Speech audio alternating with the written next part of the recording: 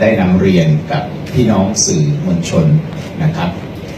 วันนี้ทางท่านทรัมป์ชารีจันทร์ซึ่งเป็นรองโฆษกอีกท่านหนึ่ง และก็ท่านโกศลวัฒน์อินทุจันยงท่านติดภารกิจอื่นนะครับ ผมประยุทธ์เพชรคุณนะครับ ซึ่งเป็นรองโฆษกก็จะได้แถลงให้กับท่านสื่อมวลชนได้ทราบนะครับคดีนี้เป็นคดีที่อยากจะเรียนให้ท่านสื่อมวลชนได้ทราบความคืบหน้าเกี่ยวกับการ กล่าวหานะครับ คุณการจนาภาหงเหินคุณวันชัยหงเหินนะครับ แล้วก็คุณมานพทิวารีนะครับ ทั้งสามคนนี้เป็นคดีสืบเนื่องจากมีการกล่าวหาว่าร่วมกันฟอกเงิน และสมคบกันฟอกเงินนะครับสืบเนื่องจากคดีอมซึ่งมีการกล่าวหาคุณวิชัยกฤษดาธานนท์ซึ่งมีการฟ้องไปก่อนหน้านั้นแล้ว แล้วก็รวมทั้งได้ฟ้อง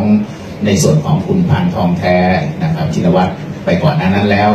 ในวันนัดดังกล่าวเนี่ยนะครับ ทั้งสามท่านเนี่ยไม่ได้มาตามกำหนดนัดที่มีการยื่นฟ้องอบางส่วนไปก่อนหน้านั้น และทางทีมโฆษกได้แถลงกับท่านสื่อมวลชนไปแล้ว เราจึงนัดให้มาวันนี้นะครับสำหรับวันนี้ขอแถลงความคืบหน้าดังนี้นะครับ ในส่วนของคุณมานพทิวารีนะครับ ไม่มาตามกำหนดนัด โดยได้ทำหนังสือมอบอำนาจให้กับ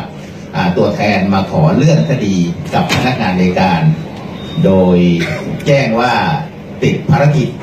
อยู่ที่ต่างประเทศ โดยแนบตั๋วเครื่องบินนะครับ สายการบินที่ระบุการเดินทางอยู่ที่เมืองฮัมบูร์กประเทศเยอรมันนะครับทางพนักงานอายการสำนักงานคดีพิเศษ 4 ได้ พิจารณาแล้วนะครับ โดยคณะทำงานได้เสนอ